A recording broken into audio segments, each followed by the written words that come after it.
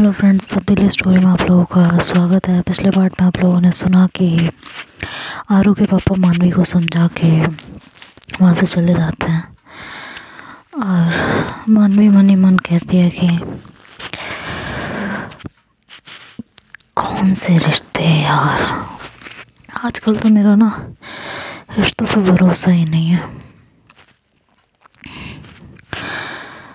माँ बाप अपनी खुशी अपनी इज़्ज़त कौन सी इज़्ज़त पता नहीं। पार्टनर अपनी दुनिया में है। हम्म, मेरी कज़न वो इसलिए यहाँ है क्योंकि उसे किसी से प्यार है इसलिए। नहीं तो उसे भी कोई फ़र्क नहीं पड़ता। और अब बात करें फ्रेंड्स की। फ्रेंड्स के मामले में तो मेरी किस्मत बहुत ही ख़राब है। मेरे फ्रेंड्स को तो ये भी नहीं पता मैं किस सिचुएशन में हूँ, किसमें नहीं। एक फ्रेंड है बेस्ट फ्रेंड निधि। वो आरो की भी फ्रेंड है। मुझसे ज़्यादा आरो की साइड लेती है। मैं किससे कहने जाऊँ अपना दर्द? मैं किससे बोलूँ? आयु। उनसे थोड़ी बहुत बातें करती थी, थोड़ी बहुत चीज़ें शेयर करती थी। उन्होंने तो मुझे जज कर रखा है कि मैं फैमिली छोड़ के आ गई हूँ। मैं ऐसा कैसे कर सकती हूँ? अगर मैंने फैमिली छोड़ दी तो मैं अच्छी लड़की नहीं हूँ। वो तो इस तरह से जज करके गए हैं। मैं किसे जाऊँ अपना दर्द बताने? और रिश्तों की कद्र की बात आरू करके गए, अंकल समझा के गए मेरे को क्या रिश्तों की रिश्तों की कदर नहीं है? इतने टाइम से मैं रिश्तों की कदर नहीं कर रही थी, कर रही थी ना। अब नहीं हो रहा है मेरे से। मुझे जो चाहिए, मुझे जब वो नहीं मिल रहा, मैं क्या करूँ? थोड़ी फ्रस्ट्रेशन थोड़ी इरिटेशन तो होती है ना। अब वो भी करना बंद कर दूँ तो वो भी ना निकालूं। ठीक है। शांत रहूँगी। बिल्कुल शांत रहूँगी। जाती हूँ। इनके फ्रेंड्स से मिलने, इनके फ्रेंड्स के साथ एंजॉय करने। बट एक बार भी ये नहीं सोचा होगा कि मेरे साथ थोड़ा टाइम अकेले स्पेंड कर लें। क्या? कि हम यहाँ तो टाइम स्पेंड करते ही हैं ना? कितना करते हैं? ठीक है, जब वो इतने में खुश हैं तो खुश रहते हैं, हम भी। आज से नो डिमांड्स कोई डिमांड्स आज के बाद नहीं की जाएँगी। और बिल्कुल नहीं की जाएँगी। क्यों करूँ? जिसके लिए, जिससे कर सकती हूँ, उसे परवाह नहीं है। वो तो मेरे गुस्से का मतलब ही कुछ और निकाल के गया। और किससे करूँगी? अपनी अपनी किस्मत होती है, मानवी। अपनी अपनी किस्मत होती है। खैर अपने काम कर लूँ, अब यहाँ सोचने बैठूँगी तो सोचने में पूरी ज़िंदगी निकल जाएगी। रिश्तों की सच्चाई शायद ऐसे टाइम पे ही पता चलती है। होप सो बाकी सबकी लाइफ मेरी लाइफ से थोड़ी बेटर हो। ऐसी ज़िंदगी तो किसी को नहीं मिलनी चाहिए। जहाँ बाप से भी दूर रहना पड़े और पार्टनर भी अपना हो के अपना ना हो इट्स रियली डिफ़िकल्ट और ये सोच के मैडम मानवी जी वहाँ से उठती हैं और मान्या को उठाने जाती हैं। मान्या कहती है कि थोड़ी देर और सोने दो तो कहती है कि थोड़ी देर में आरू का फ़ोन आ जाएगा, फिर हम लोगों को बाहर जाना है। कि मुझे नहीं जाना बाहर। तुम लोग जाओ। मैं क्या करूँगी तुम दोनों के बीच में आके?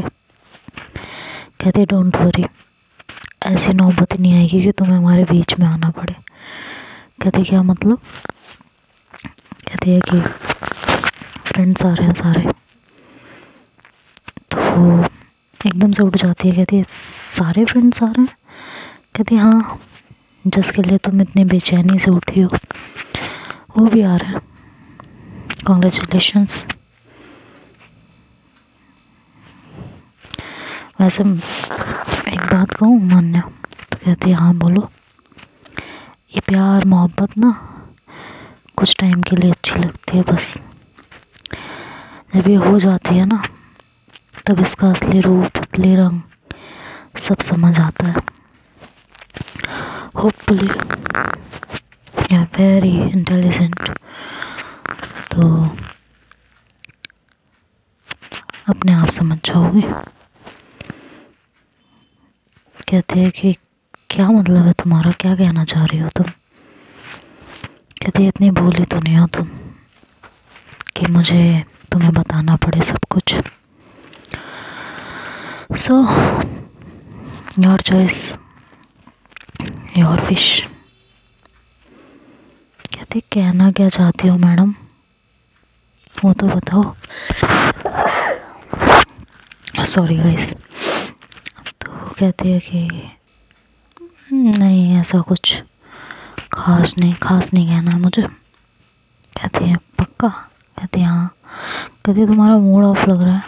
कहती नहीं, मैं बिल्कुल ठीक हूँ। मेरा मूड क्यों ऑफ़ होने लगा?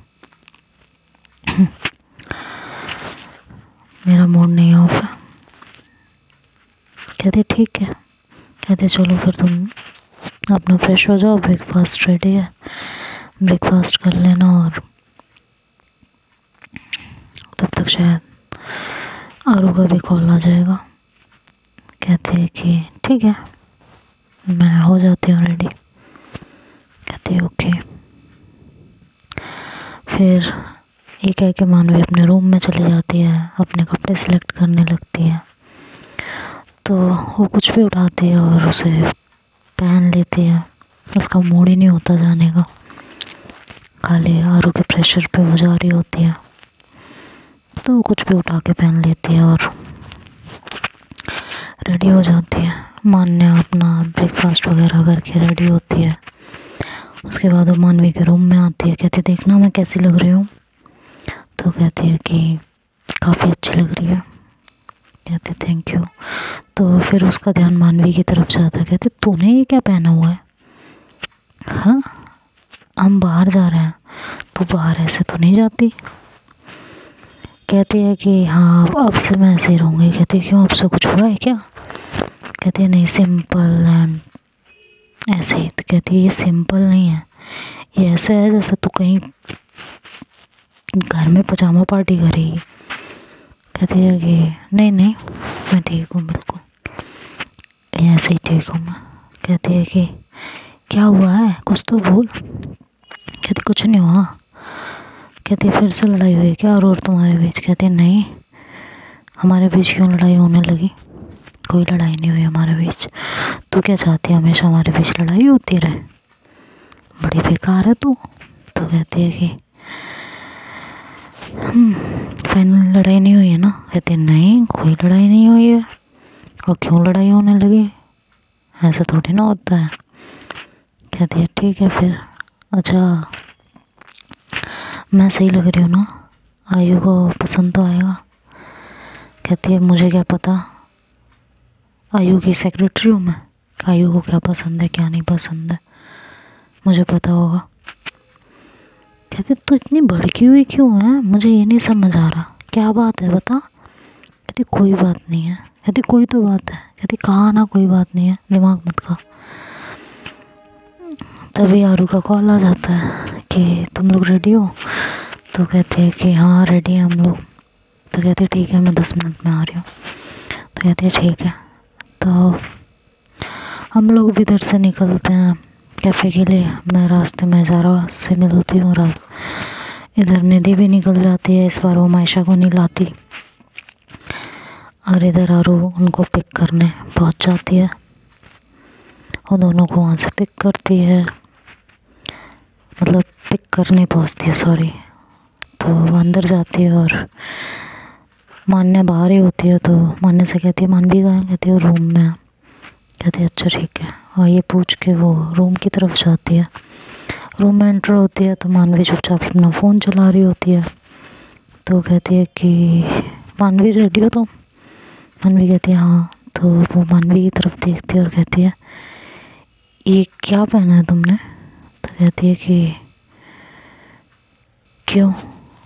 कहती है, ये पहन के चलोगी? हाँ कहती पागल हो गई हो? चेंज करो जाके। कहती है, मेरा यही मन है। मैं यही पहन के जाना चाहती हूँ। कोई प्रॉब्लम तो आरू कहती है, क्या हो गया है? क्यों इतने गुस्से में हो हाँ? तुम और ये पहन के जाओगी।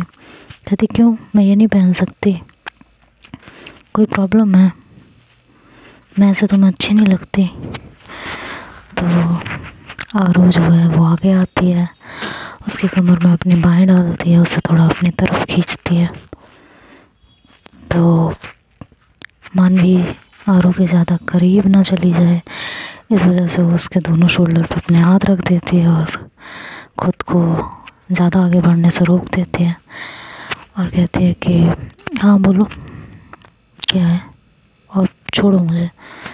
कहती हो कोई नाराज़ है मुझसे। हम्म? क्यों नाराज़ हो जाने मन तुम्हें पता है ना, तुम्हारी नाराज़गी मुझे अच्छी नहीं लगती। तो भी कहती है, हम जाने मन एंड हॉल हाँ। दोस्तों से मिलने जाना है तो बड़ी खुशी है। मेरे साथ वक्त बिताने में तो तुम्हें बहुत दिक्कत होती है।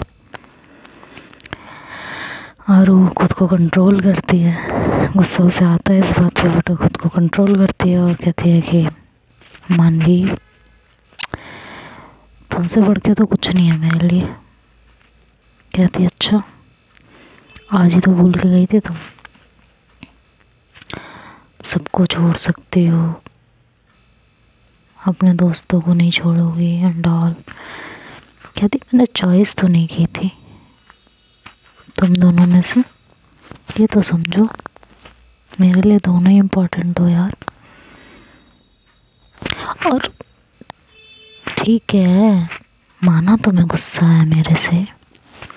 और रही बात, मैं तुम्हें, तुम मुझे ऐसे पसंद नहीं होगी। तुम तो मुझे हर हाल में पसंद आती हो मेरी जान। हर हाल में। अब बात सिर्फ़ इतनी सी है कि कि मनवी कहती क्या? तो कहती है कि हम बाहर जा रहे हैं।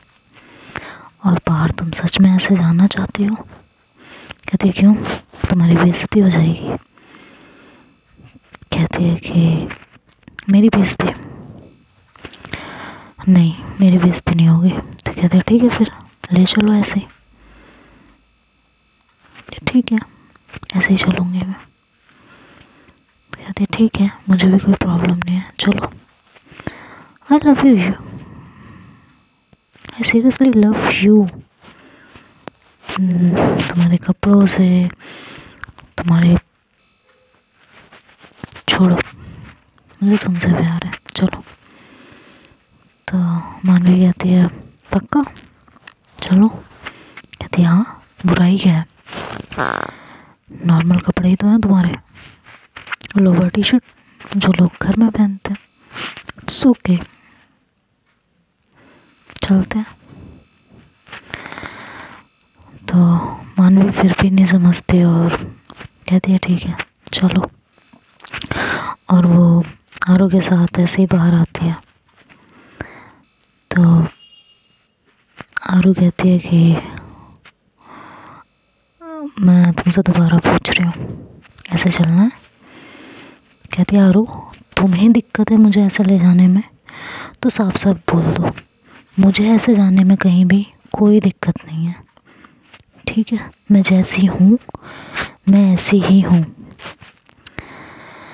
तो आरू उस सिचुएशन की नज़ाकत को समझती है और कहती है कि ठीक है ओके चलो फिर।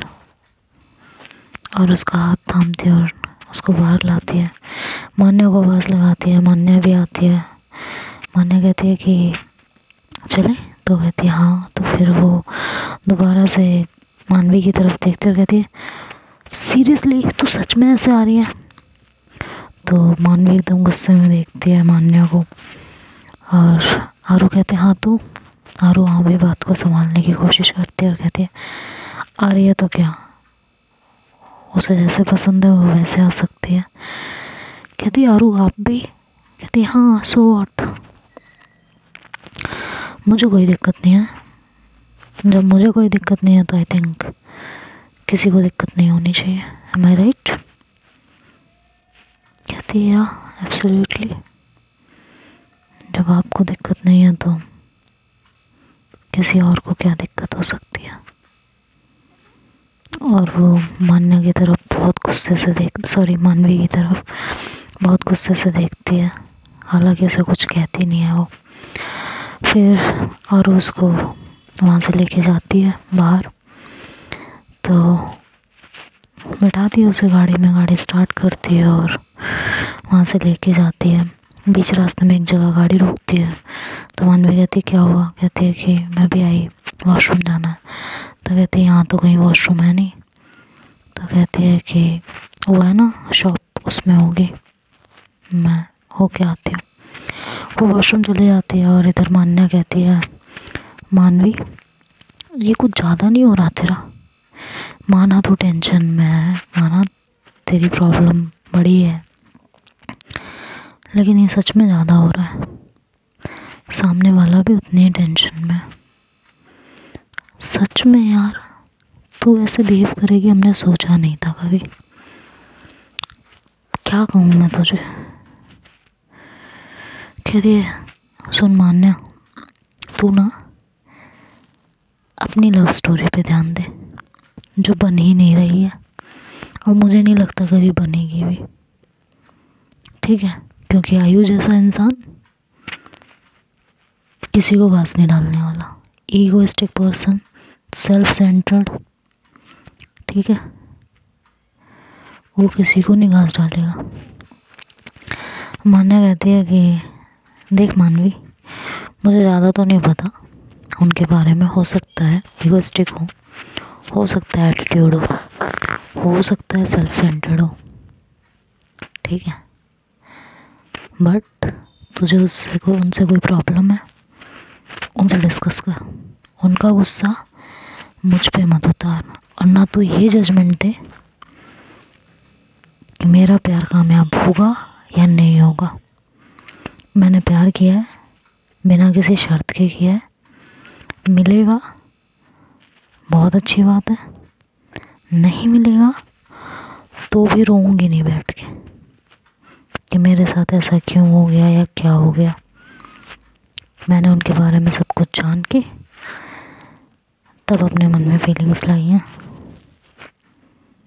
और ये फीलिंग्स लाना ना लाना मेरे हाथ में था भी नहीं। सो so, अपना गुस्सा अपनी टेंशन अपने हिसाब से अपने मैटर में सुलझाओ। किसी और को बीच में लाके किसी और के प्यार को जजमेंट दे के इसको बीच में घसीटने की ज़रूरत नहीं है बिल्कुल भी। I am not going to tolerate this तो वो कहती है कि हम्म, नहीं सुना जा रहा। हाँ सही है सही है। मैं अभी भी तुझे बता रही हूँ, गलत इंसान के चक्कर में पड़ रही है।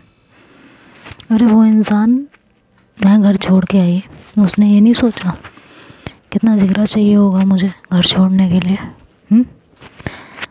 ऐसे मुँह बना के गए क्या है वो? समझती क्या है वो खुद को? मैं ना कसम से ऐसे इंसान पे कभी थूकूँगी भी नहीं। मानने कहते just shut up shut up Manvi. मैं नहीं चाहती किसी और की वजह से तेरे मेरी दोस्ती, तेरे मेरे रिश्ते में दरार है लेकिन मेरे मुँह पे इस तरह से बात बिल्कुल नहीं करोगी तुम। मैंने तुम्हें इतना हक नहीं दिया। कहती, हक तू मुझे देगी। उन्होंने दिया है तुझे कोई हक। मुझे रोकने का या उनके बारे में कुछ मैं कहूँ तो तुम ना सुनो। मुझे जवाब दो। इतना हक दिया उन्होंने तुमको? तो मान्य गाड़ी खोल के बाहर निकल जाती है, क्योंकि वो सच में नहीं चाह रहे होते कि कोई प्रॉब्लम हो मानवी और उसके बीच। और मानवी खुद को काम करने लगती है। थोड़ी देर में आरू भी वहाँ जाती है और एक पैकेट रखती है गाड़ी में पीछे। और आके बैठती है तो मानवी कहती है, पीछे क्यों गए थे? कहती है, वो डिग्गी में कुछ चेक करने गई थी। कहती है अच्छा। कहती है, मान्या कहाँ कहती है बाहर खड़ी है। कहती क्यों? मुझे नहीं पता। आजकल तो सबको छोटी छोटी बातें बुरी लगती हैं। मुझे नहीं पता। तो आरू मान्या को बोलती है, आ जाओ मान्या अंदर। कहती है, जी। और फिर मान्या आगे बैठती है और ये लोग रेस्टोरेंट के लिए निकल जाते हैं। तो मानवी का ये बिहेवियर बिहेवियर कितने टाइम तक कौन कौन टॉलरेट करेगा? कैसे कैसे टॉलरेट करेगा? या कुछ और पंगा क्रिएट होने वाला है? कुछ और झड़प होने वाली है? किसी की दोस्ती टूटने वाली है? क्या होने वाला है? ये तो हम लोग नेक्स्ट पार्ट में सुनेंगे। मैं सुनाऊँगी और आप लोग सुनेंगे, है ना? सो दिल थाम के इंतज़ार कीजिए कल के एपिसोड का। Bye bye. Take care. Good night.